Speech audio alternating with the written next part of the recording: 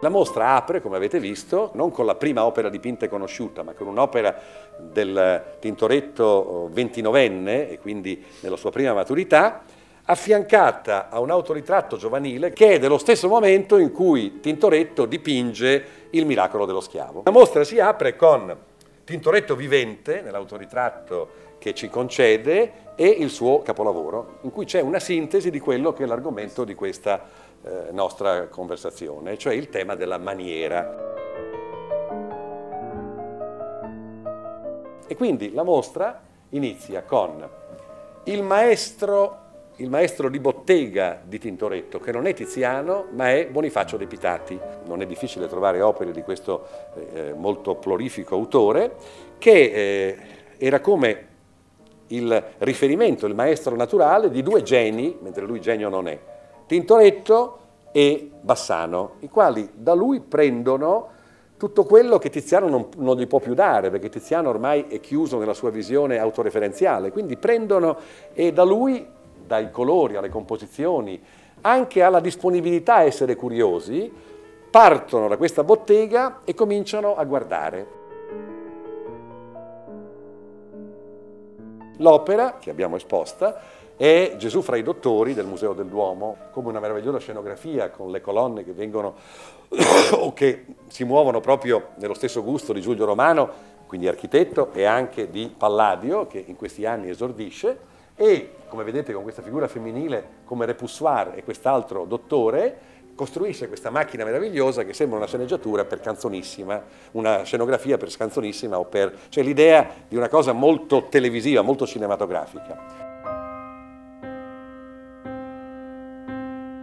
Soffitti per la casa di Francesco Vettori, che vediamo qua, che sono proprio la dimostrazione di una specie di calco su Giulio Romano tradotto in eh, colore sanguigno veneziano, quindi c'è il colore veneziano, è quello che Tiziano non sarebbe mai riuscito a fare, cioè di accettare tranquillamente queste forme monumentali che vengono da Giulio Romano e quindi da Michelangelo e tradurle in eh, una linfa eh, veneta.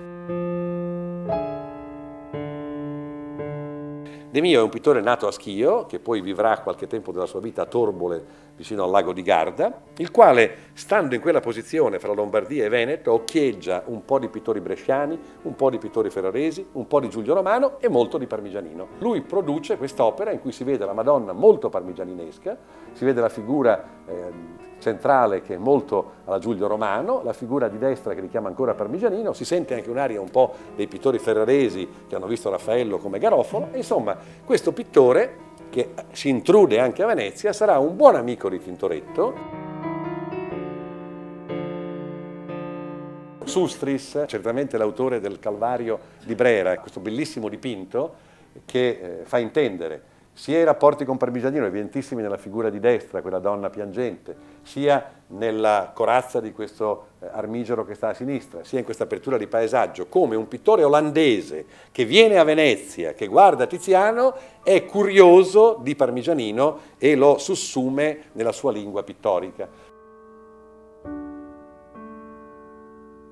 Questo meraviglioso dipinto, che è più bello di qualunque Tintoretto, e che è l'opera di un genio assoluto, è la testimonianza di Bassano nella sintesi di Giulio Romano, Parmigianino, Sustris, che per conto suo nella solitudine di Bassano e a Venezia faceva, così come Tintoretto la faceva, con il suo estro più esuberante, con il suo divertimento, con la sua volontà di affermazione, sono i due volti, le due risposte della crisi veneziana intorno al 1538-40, quella da cui esce suonato Tiziano e escono i suoi due, i due più, più grandi pittori di quel momento che sono Tintoretto e Bassano. Un pochino dopo arriverà Veronese. E qui vedete, qui siamo veramente, vedete la data, vedete questa impressionante composizione in cui c'è tutto, e c'è questa composizione, vedete, in un movimento senza precedenti, mai Tiziano aveva concepito un'opera come questa. Si vede Giulio Romano, si vede questa enfasi che viene da Michelangelo, si vede quella figura di spalle, vedete, con quella corazza rossa, quella maglia rossa, che è un po' come le maglie strette che abbiamo visto in Sustris. Vedete questa visione di sotto in su, insomma, vedete, e poi questa prospettiva sbarrata che guarderà lo stesso Paolo Veronese, antagonista di Tintoretto, nella decorazione sul fondo che è chiaramente una citazione, una premonizione palladiana. Poi vedete quello che il santo che arriva di sotto in su. Insomma, un quadro in cui tutto quello che ho accennato fin qua e tutte queste diverse fonti di ispirazione si sintetizzano in un capolavoro come questo.